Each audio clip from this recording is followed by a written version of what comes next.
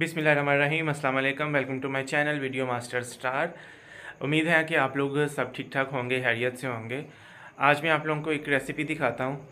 तो मैंने कहा कि आपसे आज जो है रेसिपी शेयर की जाए, काफ़ी देर हो गई है।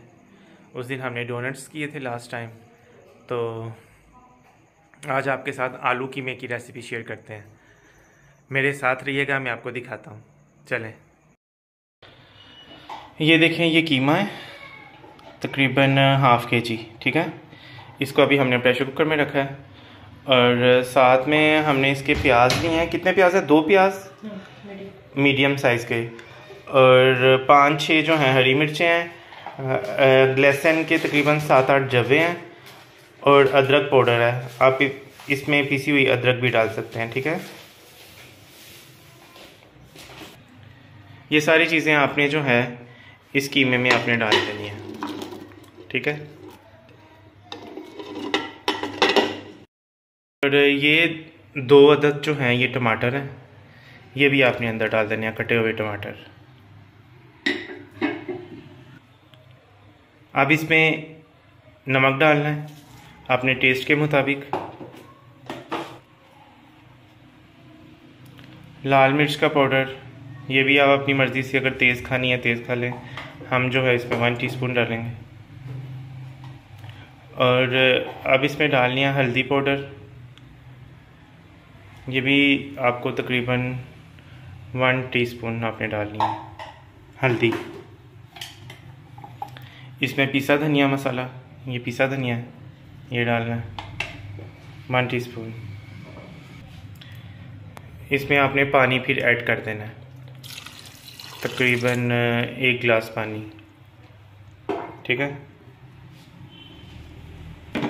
हमने जो है चूल्हा इसको ऑन कर लिया और तकरीबन इसको तकरीबन आपने 10 मिनट जब इसका वेट हिलना स्टार्ट होगा तब से आपने टाइम नोट करना है। आपने इसको 10 मिनट के लिए इसको वेट देना है ठीक है?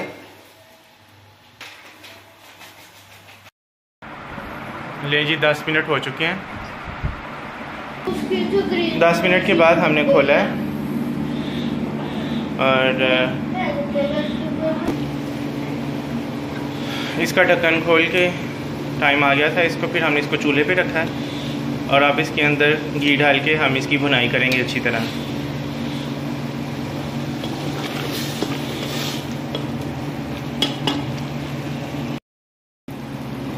कीमा जो है, ये भुन चुका है। ये देख रहे हैं आप, इसको अच्छी तरह भुना है।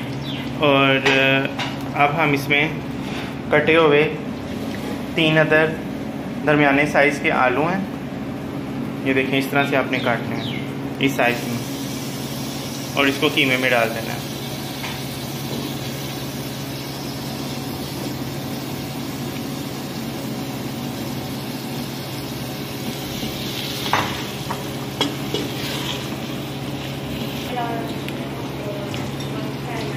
इसको आपने अच्छी तरह भूनना है, आलू को कीमे के साथ।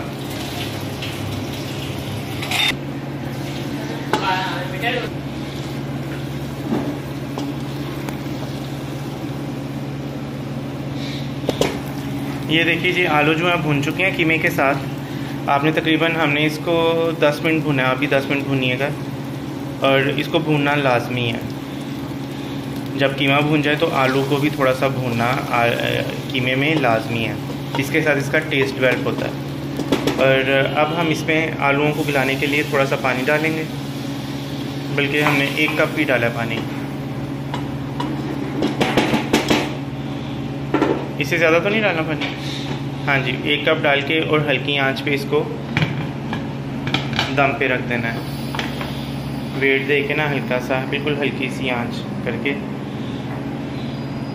इसको कितनी देर के लिए दम देना जब तक आलू गाल जाए, पाँच मिनट भी हो सकते हैं छः सात मिनट भी हो सकते हैं। उतनी देर हम एक प्याली में धनिया काट लेंगे। हरा भरा धनिया देखे। कितना प्यारा कलर लग रहा है इसका। हमने चूल्हा बंद कर दिया है और इसका वेट हटा दिया अब इसमें से स्टीम नहीं कर है। तकरीबन पाँच छः मिनट के बाद हम लोग चेक करने लगे हैं। साथ में गरम गरम फुलके तैयार हो रहे हैं। ये देखें जी, आलू जो है, ये तकरीबन गल चुके हैं। थोड़ा सा अंदर पानी था और इनको हम अब हल्का सा भून लेंगे।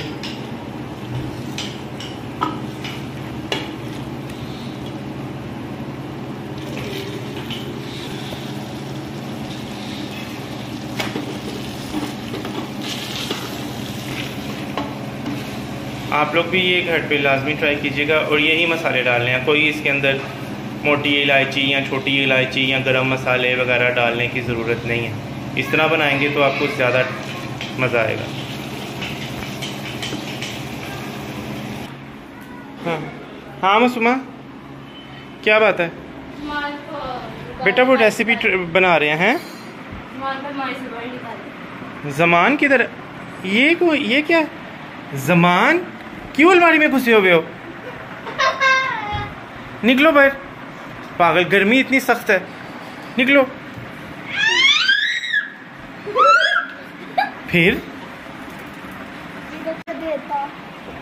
कौन? मैं? अच्छा।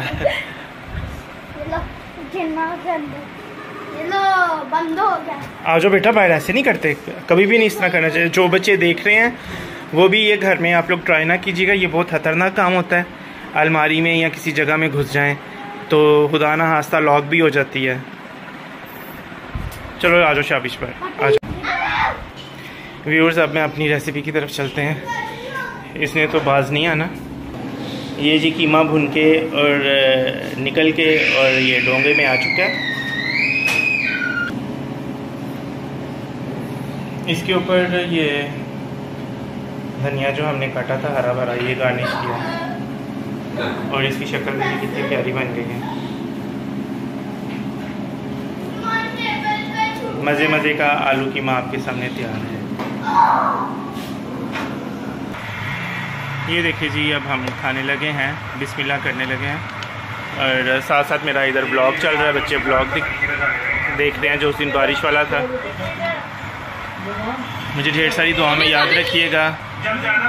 आपका बहुत शुक्रिया। अम्मी जी आ जाओ खाना खा लो। अच्छा आपका बहुत शुक्रिया। आप मेरी वीडियोस को देख रहे हैं लाइक कर रहे हैं।